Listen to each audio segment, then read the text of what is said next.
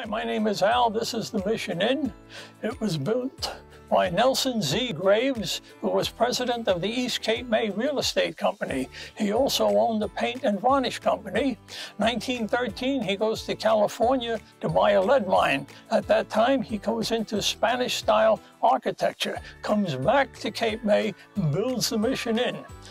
Uh, at that time, the East Cape May Real Estate Company goes into bankruptcy, so everything is gone. He's poor. He actually comes back to Cape May in 1930 as a self-made millionaire investor. You can't keep a good man down.